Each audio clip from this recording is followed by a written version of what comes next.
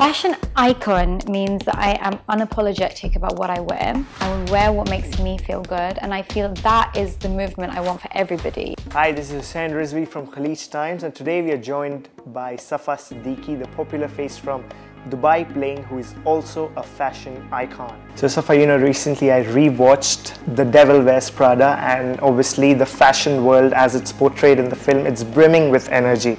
But as a fashion icon you mentioned, how is the world on that side? I feel honestly the fashion world has changed a lot since Devil Wears Prada.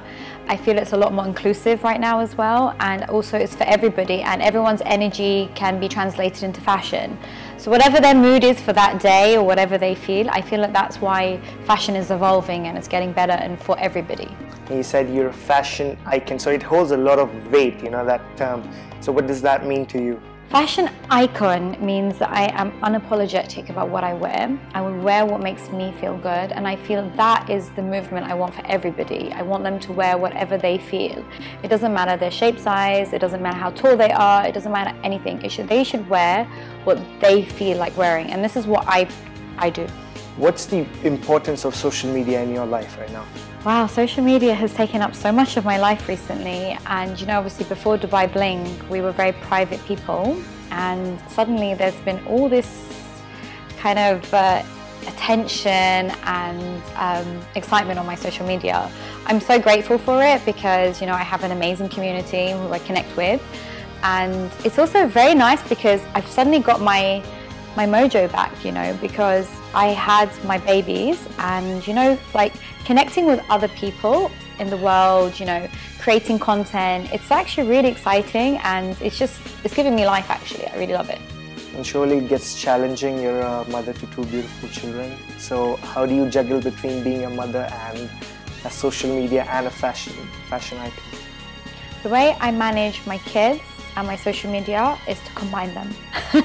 I use my kids. Honestly, I try not to put them as much, but I do also involve them because they actually, like Alina especially, the older one, she really enjoys, you know, dressing up and doing mummy calls photo shoots.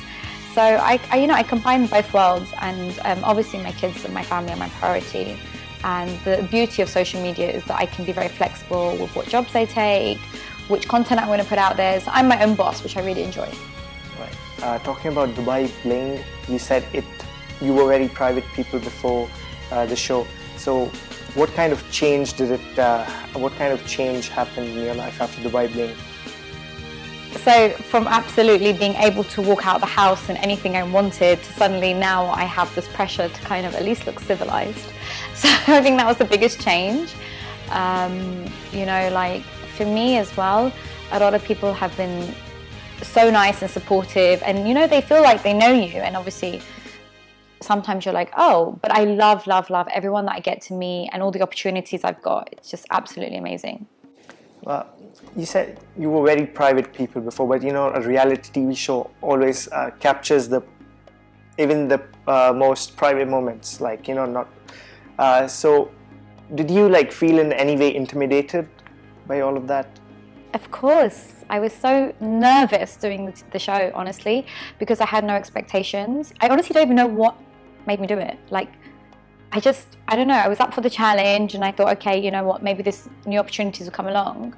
And I just, like, of course it was like, it's very nerve wracking. I remember like going into the interview rooms just like, you know, pulsating because I was like, oh my God, what am I going to say? What if, like, you know, what if I say something? And I always say something controversial, so I know this is going to happen. It's just that I was just, you know, it was very nerve wracking. But I'm just happy that most of it is love.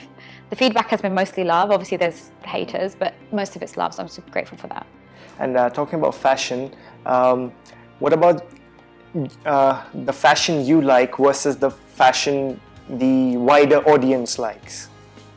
So how do you deal with that? How do you bring um, those two um, together? I don't say that my fashion is always relatable, um, but it should be inspiring, you know, because you know, even if you don't feel like wearing exactly what I'm wearing, maybe there is something that you like from my hairstyle or from the kind of makeup I'm doing, or you know, the there is some elements that everyone can kind of take into it. And you know, my friends always laugh like, "Oh, look, Safa, I'm doing a Safa vibe today," and they kind of show me that they've put something that kind of reminds them of them. It could just be a color, it could just be pink, you know. So I feel that you know, if I, as long as I'm inspiring people, that's great. And um, what's next for you? Right now, I'm working on a new collection and I'm working on something else as well. And obviously, just you know, i have got my hands full with two kids and a husband, and also a fashion line, and also my social media. So I have a lot. I don't need extra stuff, but I'm I'm very very busy with all those things that are going on right now. Okay, awesome. That'll be all from me. Thank you so much.